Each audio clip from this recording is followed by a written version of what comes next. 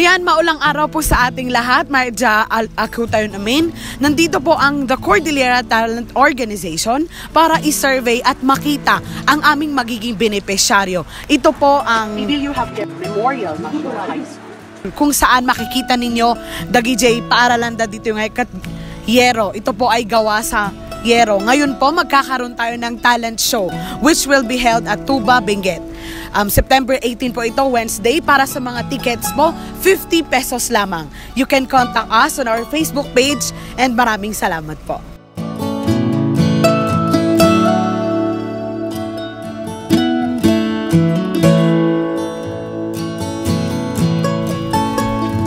Aditi dandanasan iti uubing tayo, no? Panagtutudo. Ito nga para kanya tayo, kumaakikan tayo isudat ibasit nga tulong nga kaya tayo nga. We have teacher John Ray. So nati may isa nga ng sabat kanyami. Tapno ipakita na no ay nati papanan tayo. And then this one, dito kano mati pagiananda. Dito iti room for teachers. So dakat galing sa malalayong lugar din. Pero dahil sa puso nilang magturo, nandito sila para sa mga bata. Konting kwento lang ng ating paaralan. Mm. Bakit ganito ba? Ah, paano ba kayo nakakapag-aral sa ganitong sitwasyon? Oo.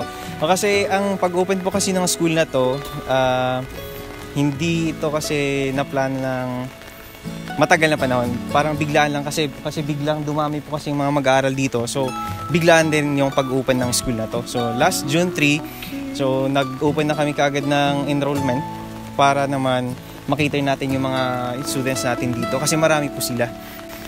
Kasi kung doon pa sila sa baba mag-aaral, medyo malayo-layo pa po. Kung- Pero dinulog naman ninyo ito sa DepEd. Ano ba yung parang response nila sa mga paaralang Mm-mm. ginawa natin? Ah, actually, initiative, initiative ito ng LGU ng Tuba tsaka ng Ansagan. So, ito yung counterpart nila. So, inayos nila itong makeshift muna ito, parang temporary classrooms. At saka ang sabi ng DepEd, we are going to wait, wait siguro Wait. one year Oo. Para sa processing ng papers ng pagpapakagawa ng bagong classrooms. Ilan ba yung mga estudyante dito, mga high school, Mm. na tinuturuan nyo ngayon? Oo. Ah, nag-offer kasi kami ng tatlong, ah, apat na grade levels. Grade 7, grade 8, grade 9, at saka grade 10. Bali, 36 po yung lahat ng population ng students natin ngayon. Um, sa ngayon po, meron na po tayong limang teachers. So last week lang meron na silang naitagdag na isang teacher. So maalaga naman na, namin yung mga bata. Yun nga lang, ah, konting tiis lang muna sa ano. Oo. Bisitahin nga natin yung kanilang munting bubong, kung saan sila naninirahan. Ganito. Okay, so lah- ilan kayo ngay dito, sir? Ah, bali lima kami dito. Oh. Ito. So, hati-hati. Dito muna ang When?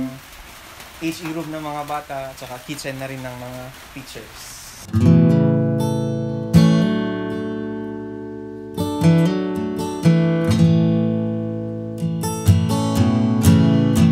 dati ka deputy room ti grade 10, grade 8, grade 7 kan grade 9. Do idi napansin niya medyo narigan nga dito nga klase kasi nga lang ako tibubong. Kan agtad-tad gamin dito matlaang. Inpan nga amin ti talo nga grade level. Pinagsuksok mamin so dahil may sa unit na building. Ginodwa mi ti upat di so faculty room yung isang side, grade 10, grade 8, saka grade 9. So bali grade 7 dito kasi mas marami sila. Handang Oh, umanay so dyan. talagang isaksak yung aming Mm-mm. suda. So nga mga rigatan pi man grade 7 karkarutan ta tudo-tudo ta ngalaw nga akong tibubong kung kami nga kikinaawatan. Ay, oo nga, no. Isa rin yung factor kung saan hindi masyadong natututo ang mga estudyante. Mm, mm. Kasi JCAS lang ang resources. Da-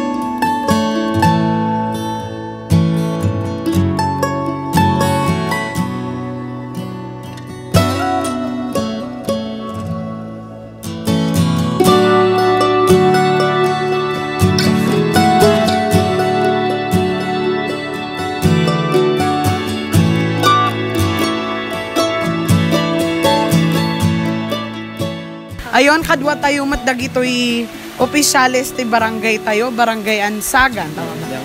Ni sir, niya tinagan mo sir? Son Pino Madam. Ayon.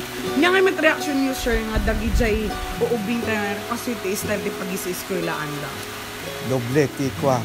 Ah, iti maysa, ti positive side, mayata dadto iti eskwelahan. Anti pag ah, kasla pagmadya na uh, kastoy pa lang iti eskwelahan mi. Ano nga di ano nga di building ko mga mayat na talaga mapang eskwela. Kaslahan nga conducive pa lang ti na para kada day of day.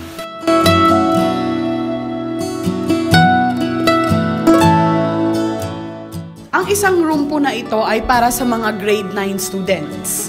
Sa kabilang parte naman po ng multipurpose cooperative nila na kanilang pinahiram para mapag-eskwelahan yung mga bata, ito naman po ay para sa mga grade 8. Multipurpose nila, hinati-hati nila sa lahat ng grades. Ito po yung grade 10. Ayon. So, pansamantala munang hindi ginagamit ito ng barangay para mapakinabangan muna ng mga bata para sa kanilang pag-aaral. Tapos ito na yung mini library nila. So dito namin inipon yung mga books, encyclopedias, para at least kahit maliit lang yung room nila, meron pa rin silang learning resource center. Kung mapapansin din ninyo, wala po tayong ilaw. Walang ilaw sa mga magkabilang classrooms. Pero pag minsan daw, pag malakas yung ulan, sabi ni Teacher John Ray, pinagsisiksikan na nila lahat yung mga estudyante, oo, dito. Kasi nga, para mai-provide yung safety nila. Kasi sa mga yero, syempre, di maiwasan may mga tumutulo, di ba? Sa ating organizational chart para sa year na ito, ito po yung mga magigiting nating mga guro na Oo, ayun.